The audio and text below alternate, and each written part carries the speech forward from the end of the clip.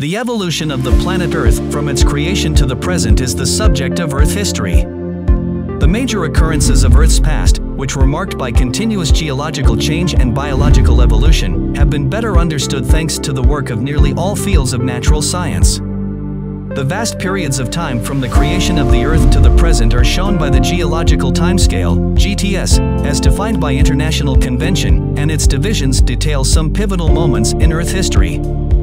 By accretion from the solar nebula, Earth was created 4.54 billion years ago, or roughly one-third the age of the universe. Although the early atmosphere had very no oxygen, it is likely that volcanic outgassing produced the primordial atmosphere first, followed by the ocean. Due to frequent collisions with other bodies, which caused intense volcanism, a large portion of the Earth was molten. The Moon is believed to have been created by a massive impact collision with a planet-sized entity called Theia when the Earth was still in its early stages, during the early Earth. As the Earth cooled over time, a solid crust formed in liquid water could exist on the surface. The Hadean Eon, which started with the birth of the planet and ended 4.0 billion years ago, is the period before there is a trustworthy fossil record of life. Earliest evolution of life on Earth and its origins occurred during the Archean and Proterozoic eons that followed.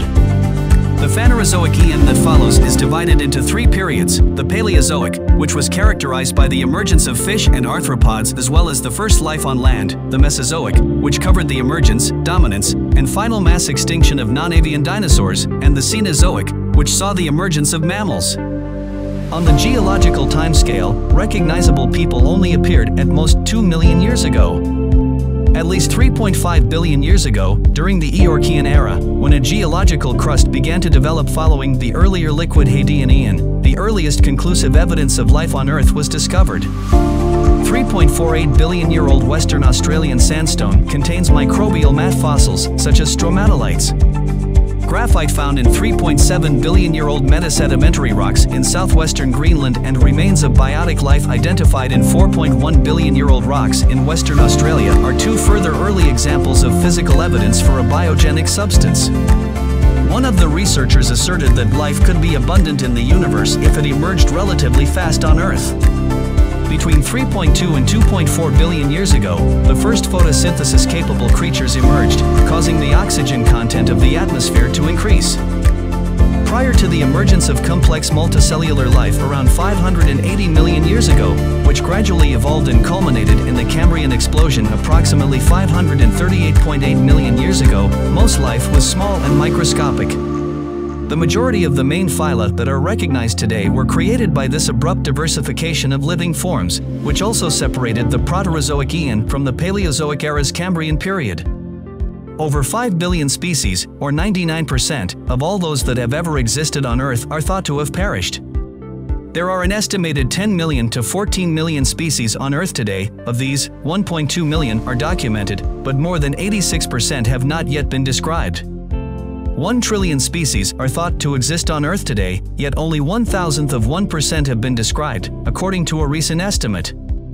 Since the Earth's formation, both its crust and life itself have undergone continuous alteration.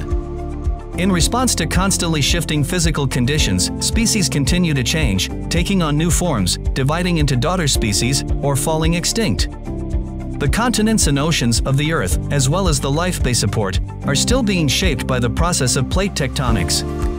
Scientists have found that a large comet or asteroid, comparable to the one that wiped out the dinosaurs, wiped off the giant reptiles' ancestors 200 million years ago, which has terrifying implications for humans' dominion of the Earth. According to the research, collisions between our planet and huge objects on a regular basis function as a kind of evolutionary dice shaker, knocking back established species and elevating less common ones. We might be the next. The Great Dying, which occurred 251 million years ago and caused the rapid extinction of 70% of land vertebrates and 90% of all marine creatures, has long been a topic of discussion among paleontologists.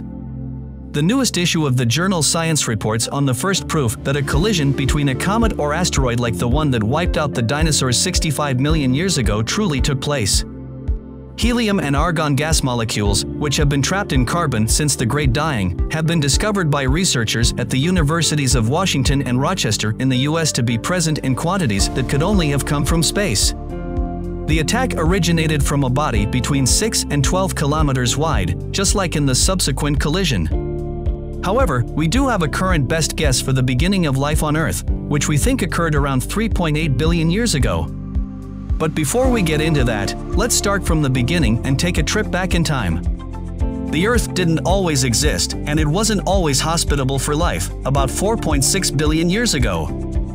The Earth has changed so many times and transformed heavily from when it first formed. How life came from non-life is still a big scientific mystery.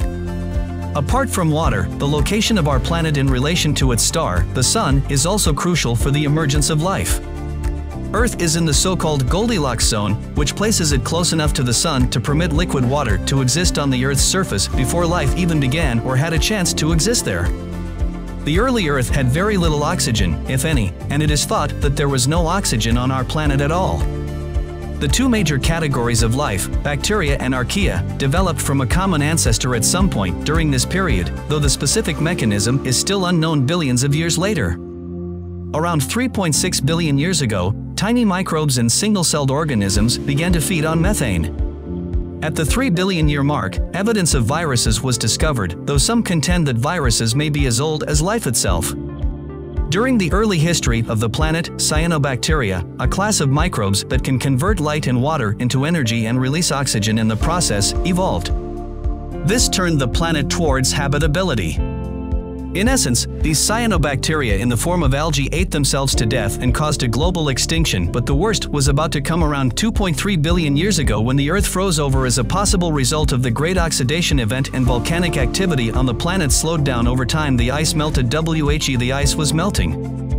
Large sharks, hagfish, and ratfish evolved during this time, paving the way for the Carboniferous epoch, when the climate on Earth was believed to be tropical with minimal seasonal variation and a new wave of bizarre species began to emerge. The growth of these forests increased oxygen levels in the atmosphere, which peaked at around 35% compared to the 21% it is today. This alone might explain the size of the giant creepy crawlies that emerged. Some animals and insects may have developed in water and grew bigger as a way to procreate. Reptiles evolved into forms similar to modern-day lizards with a backbone that allowed them to live and move on land. These amphibians were also huge and some species were predatory resembling modern-day crocodiles, armed with sharp teeth and reaching lengths of almost 6 meters long and like modern-day crocodilians.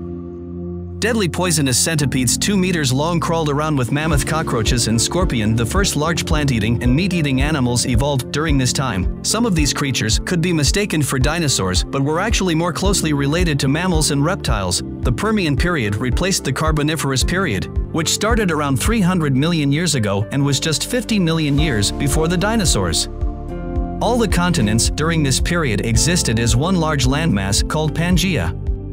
During the Permian period, mammals were gaining dominance. The largest of these were creatures categorized as Gorgonopsians, a class of enormous bear-like animals that all had different teeth that were specialized for different functions.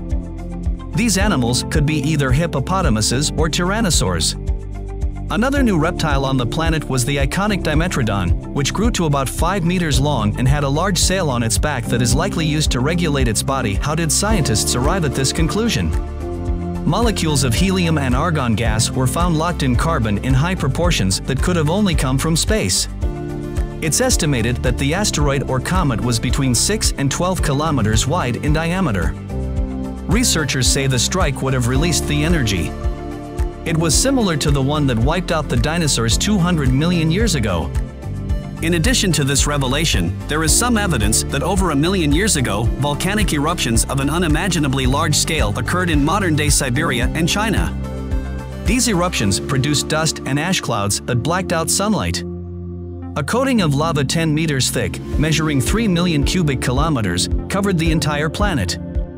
The eruptions and the asteroid collision were like the shotgun blast from a double-barreled shotgun. Earth was once more a terribly depressing place. These two things happened together to cause what is known as the Great Dying.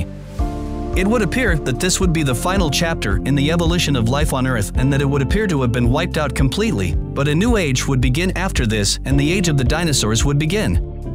Would you like to see what happened after that great Permian extinction and how the great dinosaurs got their start? If so, let us know in the comments section and make sure to like and subscribe to our YouTube channel.